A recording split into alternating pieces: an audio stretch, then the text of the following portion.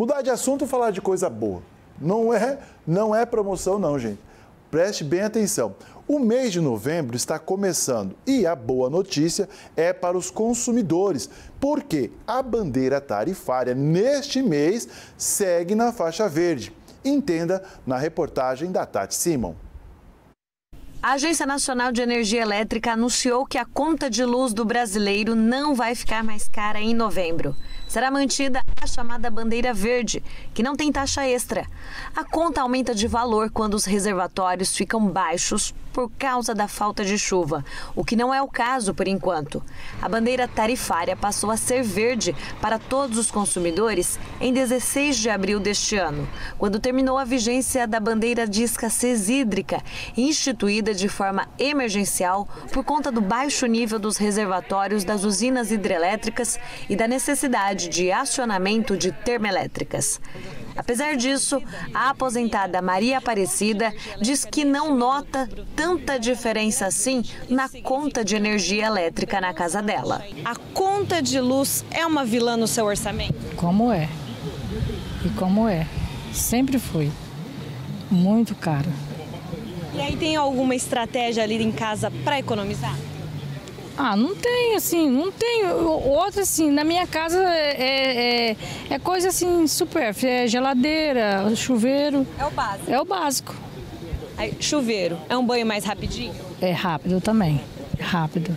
É, geladeira que a senhora citou, não pode ficar de porta aberta por muito tempo? Não pode, porque senão vem um arrombo, né? Tá vendo como a senhora tem estratégia? Para os beneficiários de baixa renda que usufruem da tarifa social de energia elétrica e ficaram de fora da cobrança adicional decorrente da escassez hídrica, a bandeira é verde desde dezembro do ano passado.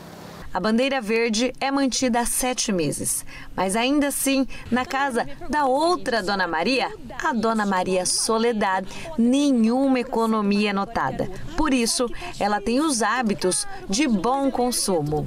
Sim, quando eu entro no quarto, no banheiro, acendo a luz, já apago, já deixo apagado, não deixo tudo aceso. De dia as luzes ficam tudo apagadas, né? Só acendo só à noite, aquele lugar onde eu vou frequentar, depois eu desligo. Se tá na sala, a cozinha tá apagada. Sim. Vai ficar acesa pras paredes. Então, tem que economizar, né? Coisa da feia. E o banho quente, porque chuveiro é um vilão. Ah, na época do frio, sim, mas na época do calor é frio. Banho ligeiro. Opa! As bandeiras tarifárias possuem valores diferentes conforme a cor de cada uma delas.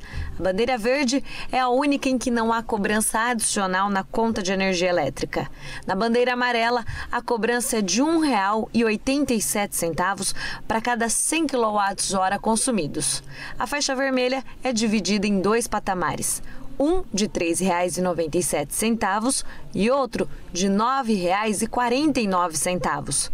A bandeira preta de escassez hídrica é a mais cara e cobra R$ 14,20 para cada 100 kWh consumidos. A expectativa da ANEL é que a bandeira verde continue vigente até o próximo mês já que houve uma expressiva recuperação dos reservatórios das hidrelétricas.